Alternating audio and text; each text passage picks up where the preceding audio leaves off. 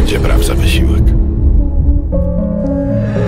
Nie będzie medalu za wytrwałość.